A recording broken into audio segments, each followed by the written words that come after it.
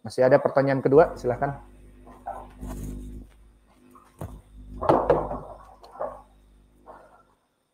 Soal yang kedua, Assalamualaikum Afwan Ustaz. Saya banyak mendengar dari teman-teman yang belajar dengan Ustaz-Ustaz agar kita belajar dari majelis-majelis dibatasi harus belajar dengan Ustaz Bulan atau Ustaz Bulan. Walau Ustaz Bulan itu salah atau Ustaz Bulan itu mengkadir. Kita belajar semua siapa saja. Yang penting kita ambil yang benarnya. Kita buang yang salahnya. Bagaimana menurut Ustaz dari ucapan ini kita belajar dengan ikhwani dan tablighi atau rajali.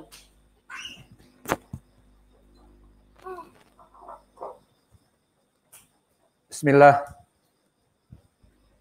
Subhat yang dilemparkan oleh dai-dai yang bermanhaj melempem yang diinginkan dai-dai bermanhaj melempem seperti dai Ihya Uturaf ataupun dai dari kelompok Asururiyah atau bahkan dai ikhwanil muslimin ataupun dakwah dari dai-dai yang lainnya. Yang mana subhat mereka yang kacangan ini biasa dilemparkan oleh kelompok ahlul bid'ah agar kaum muslimin meninggalkan dari al-jarh wa ta'dil. Sehingga mereka akan tertipu untuk tidak mengikuti kajian-kajian dan mendengar para ulama. Yang mana para ulama ini telah dijarah oleh kibar ahli sunnah wal jamaah. Seperti untuk contohnya, misalnya Ali Hasan Al-Halabi, ataupun Muhammad Al-Arifi, ataupun Yusuf Al-Qardawi. Ini yang mereka masih hidup, misalnya. Maka mereka membawa pemikiran-pemikiran yang salah dan telah dibantah oleh para ulama tentang kesalahan mereka Kemudian dai-dai yang melempem ini ingin mengaburkan pentahdiran ulama dari orang-orang awam ini. Sehingga mereka mengatakan, kalau ini sering saya dengar dari kelompok orang roja yang sudah tua, mereka mengatakan jangan disibukkan dengan jarah wa ta'dil. Sibukkan dengan ilmu, ilmu.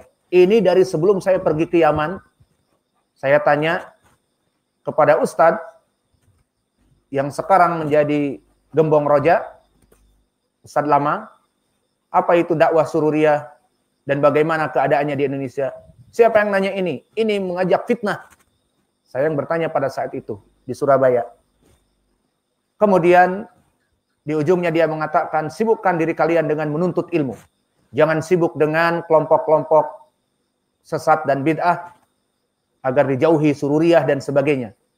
Maka itulah biasa yang mereka lakukan untuk menggembosi dari al-jarh wa ta'dil.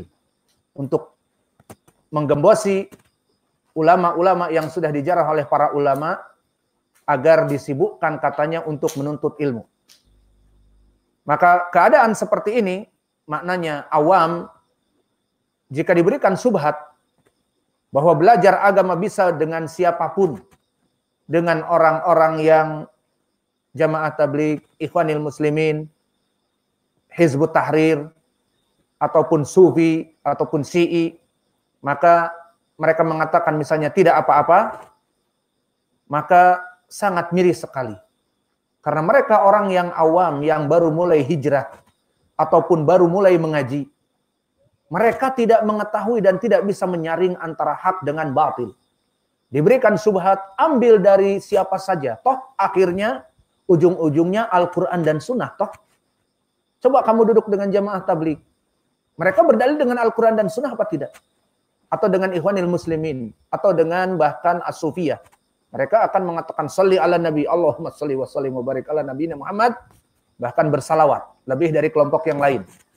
Maka Kasihan mereka orang-orang awam yang tidak mengetahui antara hak dengan batil dan bahkan mereka butuh kepada bimbingan untuk dibimbing kepada jalan hak dan yang batil, maka mereka dengan mudah mengatakan ambil ilmu dari mana saja.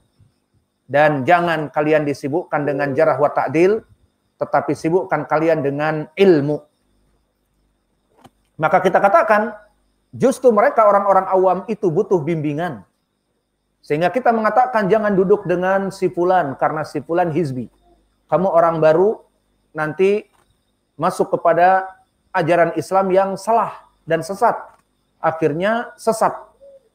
Dari hijrah kalian masuk kepada kelompok sesat. Maka oleh sebab itu harus kita mengajari kaum muslimin agar menyaring dari siapa mereka mengambil ilmu. Sekaligus juga untuk selektif, selektif dalam mencari ilmu.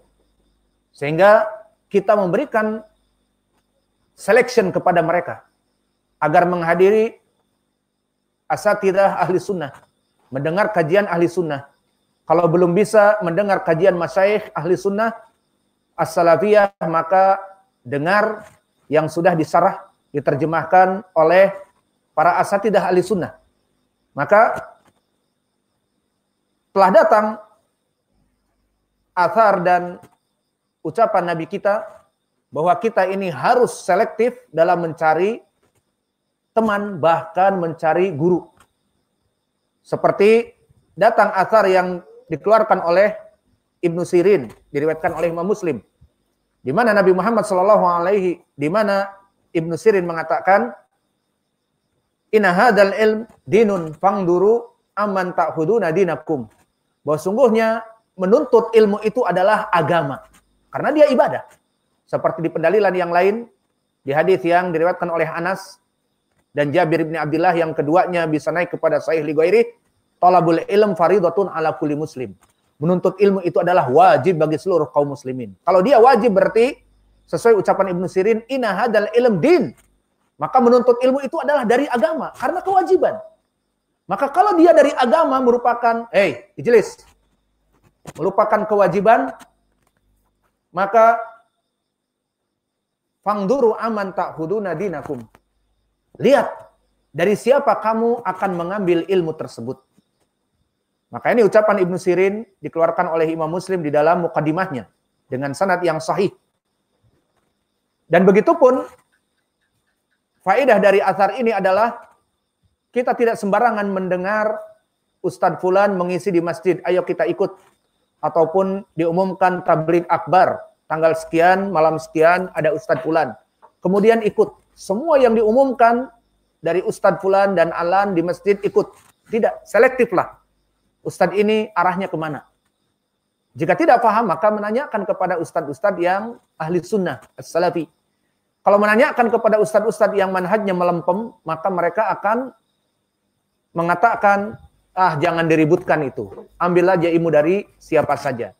Toh ujung-ujungnya juga kalau Allah kalau Rasul. Ya apa tidak? Seperti itu.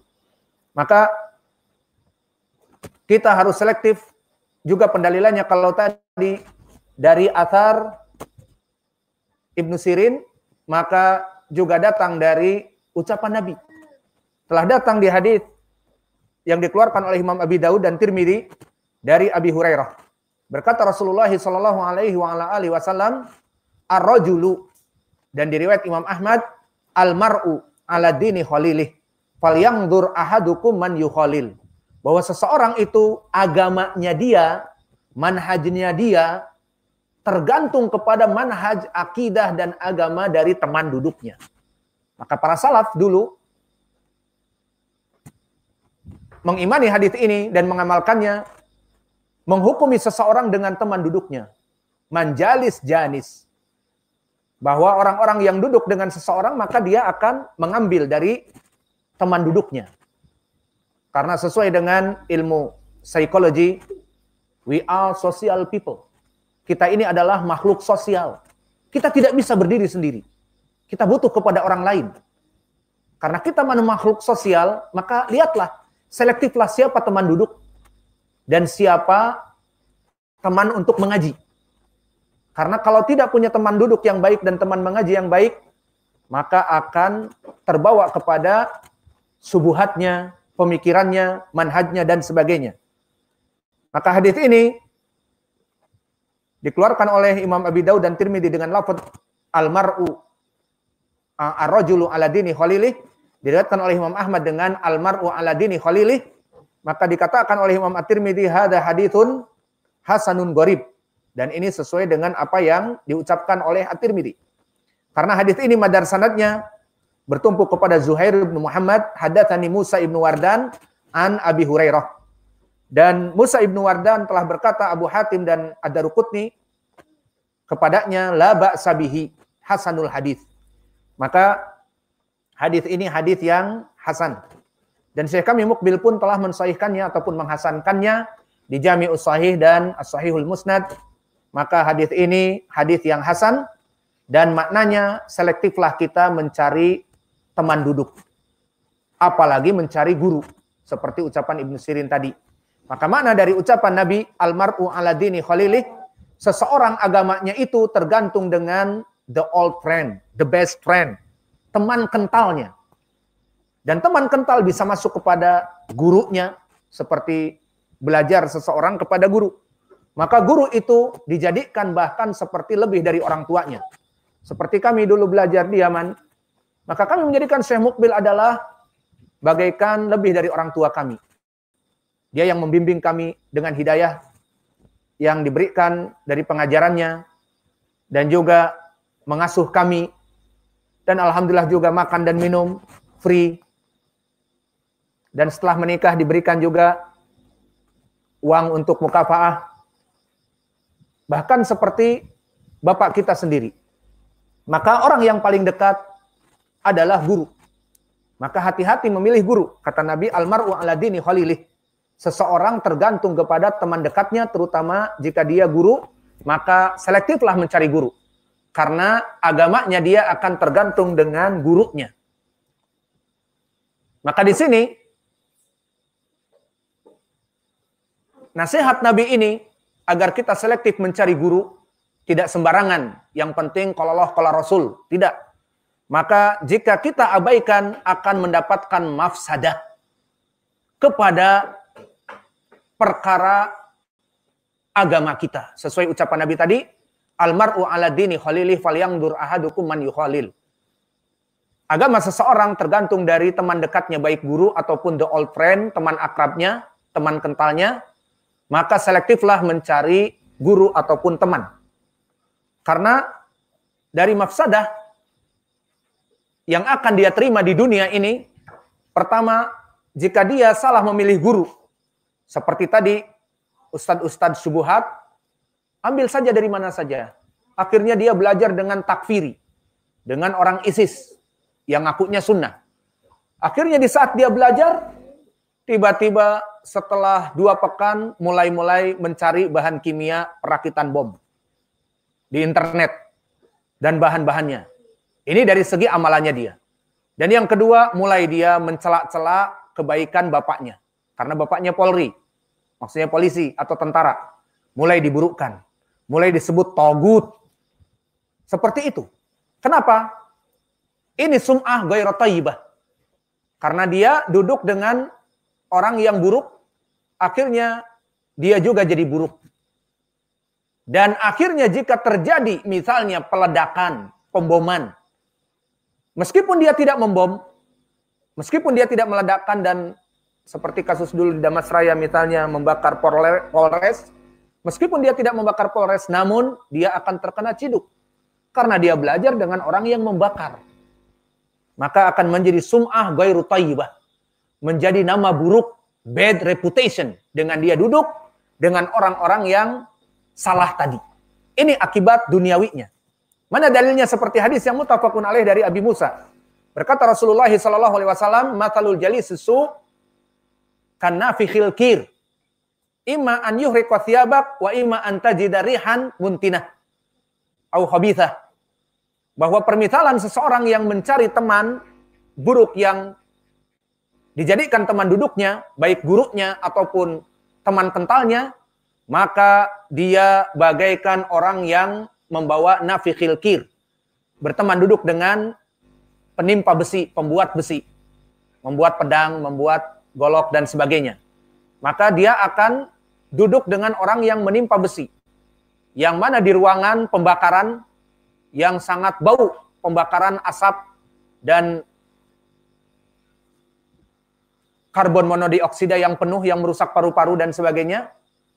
Ini yang pertama. Dan yang kedua, di saat dia menimpa besi, bisa jadi besi itu lompat potongannya masuk ke bajunya, terbakar bajunya, dan terbakar kulitnya. Maka maknanya di sini bahwa orang yang duduk dengan guru yang buruk, duduk dengan kelompok ISIS, takfiri jihadi, akhirnya dia berakibat buruk. Baik secara langsung dia akan mengkafirkan keluarganya, ataupun membuat teror kepada pemerintah dengan membuat bom diri dan sebagainya, ataupun demo mencela-cela pemerintah di media sosial ataupun di lapangan, di Monas dan sebagainya, maka ini dari keburukan dia mencari guru yang salah. Dan begitu pun lebih parah dari itu, dia akan masuk menjadi kelompok ahlul bid'ah. Dan ini yang dimisalkan oleh Nabi, bisa jadi dia bau buruk dikarenakan pembakaran seperti nanti kalau tertangkap dari kelompok ISIS, dia akan terbawa meskipun dia tidak melaksanakan pemboman, tapi tetap dia terciduk. Dan yang kedua, bahkan dia menjadi kelompok ahlul bid'ah yang melaksanakan bom bunuh diri tersebut misalnya. Maka ini dari mafsadah yang pertama, salah duduk, salah mencari teman, salah mencari guru, akan seperti itu disebutkan oleh Nabi. Dan yang kedua, ibtiad anil hidayah akan dijauhkan hatinya dari hidayah. Dan ini contohnya seperti Abu Talib, seperti hadis yang mutafakun alaih dari Musayyib ibni Haznin, di saat Nabi mendengar Abu Talib dalam keadaan sekarat, datanglah paman, datanglah keponakan dari Abu Talib ini kepada pamannya dan berkata, ayu ammi. Di riwayat, ya ammi, kulla ilaha illallah kalimatun uhajulak kabiha indallah maka wahai pamanku di akhir dakwah ini aku mengajak kamu untuk bersyahadat la ilaha illallah, maka aku akan menjadi saksi bahwa engkau telah masuk Islam. Kemudian dia menoleh kepada orang yang di sebelahnya. Siapa? Gembong Quraisy. Yang pada saat itu Abu Jahal dan Abdullah ibnu Abi Umayyah. Keduanya gembong Quraisy. Namun di akhirnya Abu Jahal mati dalam kesyirikannya dan Abdullah ibnu Abi Umayyah masuk Islam setelah Fathu Makkah. Keduanya memberikan ucapan subuhat Atargobu an milata Abdul Muthalib, apakah kamu ingin meninggalkan agama Abdul Muthalib dan mengikuti Nabi Muhammad, ponakan kamu, padahal seumur hidup kamu, kamu duduk bersama kami. Dengan sonadid Quraisy, kita terkenal dari kelompok Quraisy. Di akhir hayatmu kamu mengkhianati kami dengan mengikuti Muhammad, orang yang dakwahnya kita benci karena mengajak persembahan kepada Allah, seperti di dalam surat Sad, aja alal alihata ilaha wahida inna adalah syai'un ujab. Apakah Muhammad itu mengajak kepada Rob yang satu yang perkara itu sangat aneh, tidak ada dari agama-agama yang dulu mengajak sesembahan kepada Allah yang satu, maka Abu Talib salah memilih teman. Di mana dia mengetahui Nabi Muhammad adalah seorang nabi. Dari keponakannya, dari darah dagingnya. Namun tertutup hidayah karena salah memilih teman. Ini poin pendalilannya. Akhirnya dia mati dan dalam keadaan aba an yakula la ilaha illallah. Maka dia mati dalam keadaan tidak masuk kepada Islam. Dan Nabi menangis karena Abu Talib tidak mendapatkan hidayah dan Allah turunkan ayat innaka la tahdi man ahbab walakin Allah yahdi yasha. Wahai Muhammad bahwa sungguhnya Allah yang memberikan hidayah kepada siapa pun.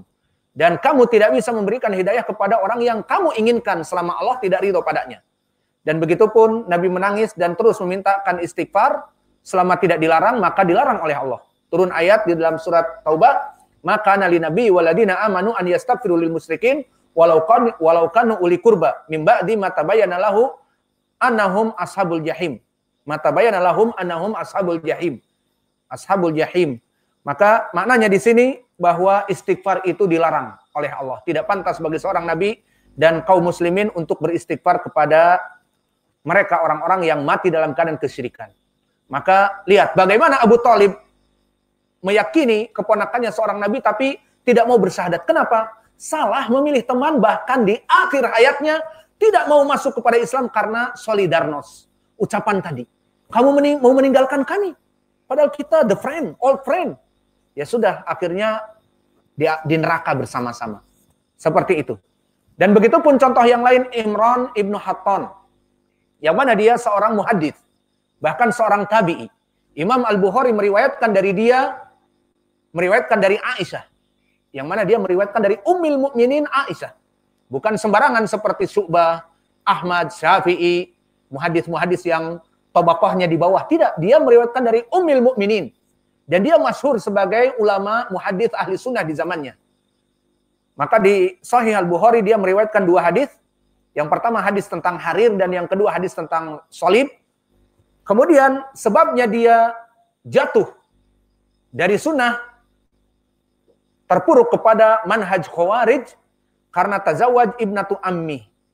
Di mana dia tergila-gila dengan putri pamannya yang cantik. Min banatil Arab dari perempuan-perempuan Arab yang cantik. Maka dia tergila-gila dengan putri dari pamannya. Dan dia pada Allah dalam keadaan buruk rupa. Dikatakan oleh para ulama. Maka dikatakan kepada dia, bagaimana kamu akan menikahi wahai Imran ibnu Hatton dengan perempuan Khorijiyah, perempuan yang bermanhaj Khawarij, yang mana dia itu membenci Ali radhiyallahu anhu dan Utsman.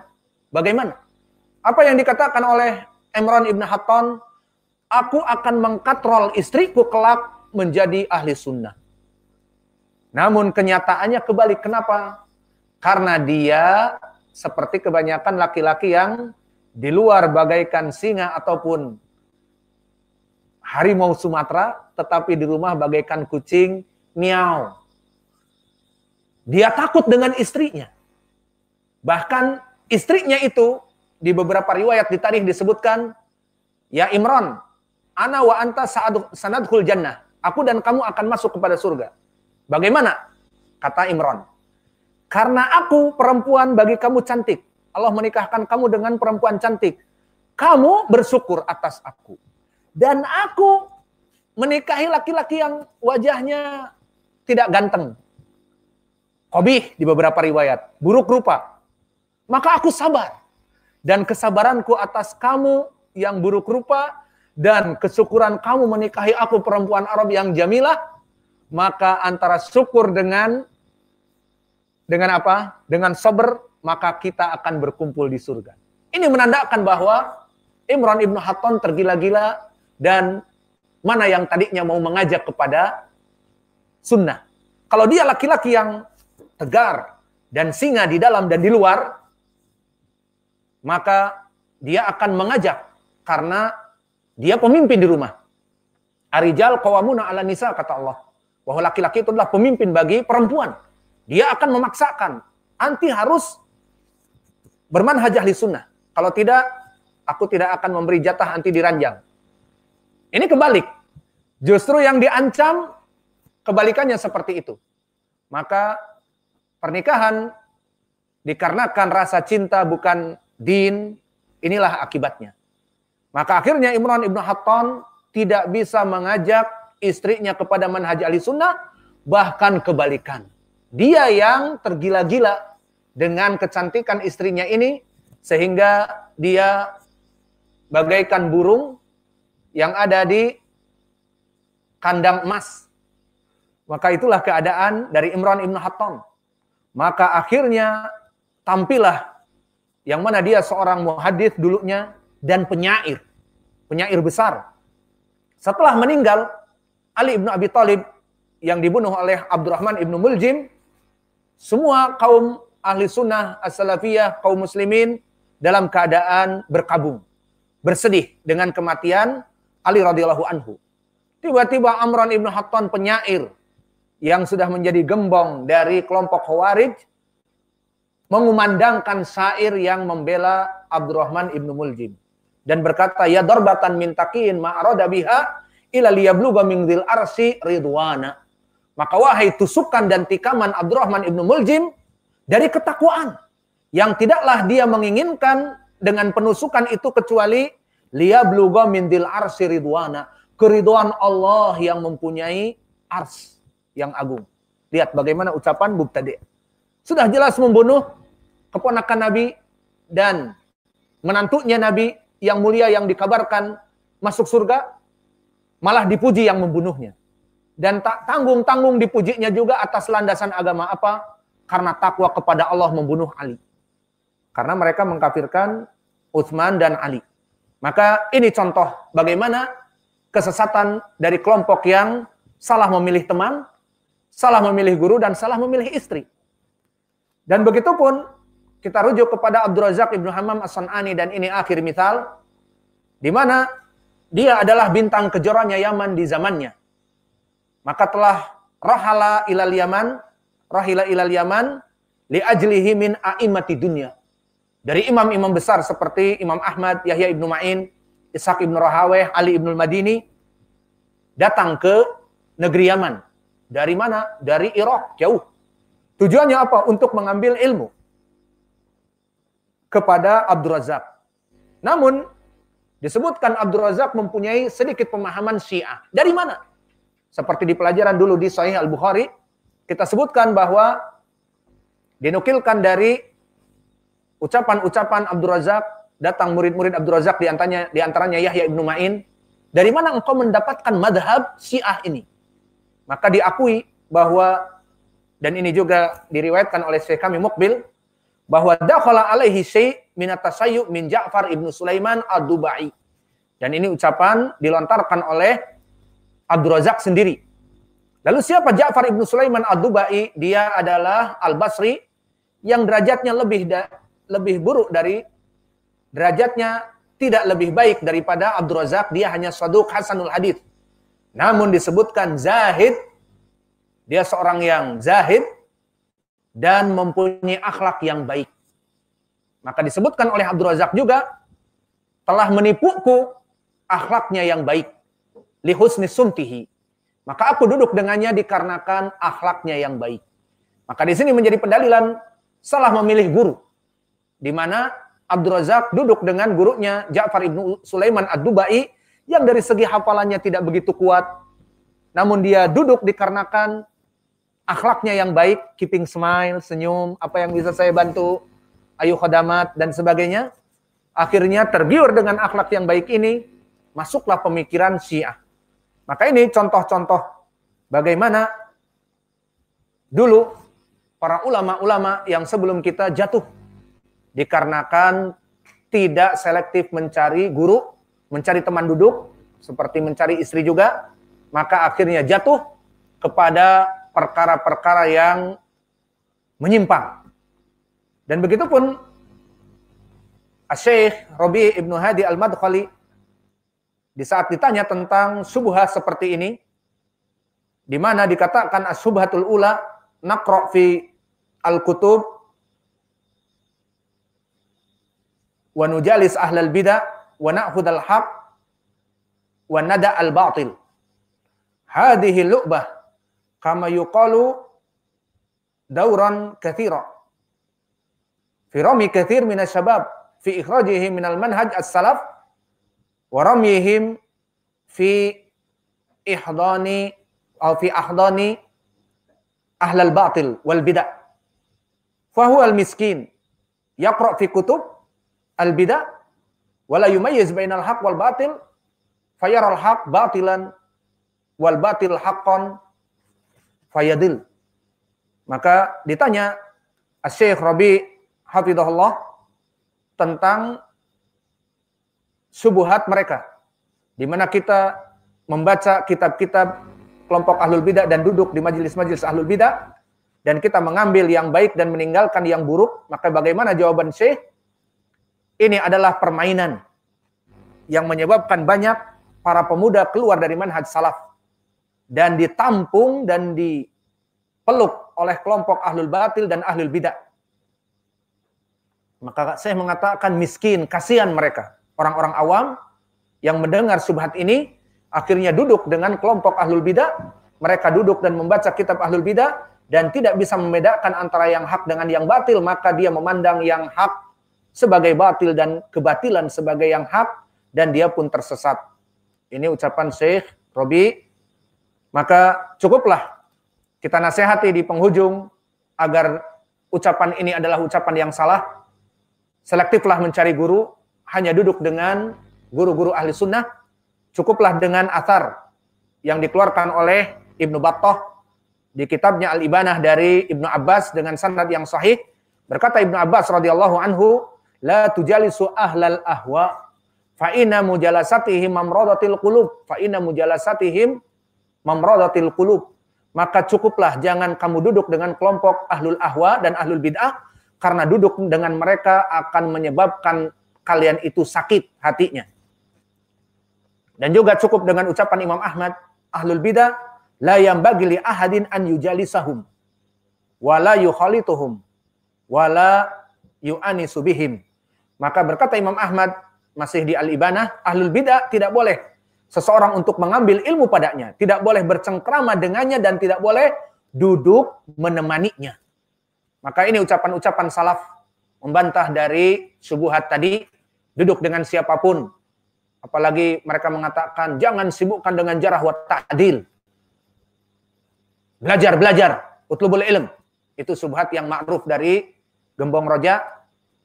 Maka kita katakan agar kita selektif mencari guru dan tidak mencari guru dari kelompok ahlul bidah wa naktafi ilahuna wa jazakumullahu khaira wa barakallahu fi ilmikum subhanakallahumma wa bihamdika an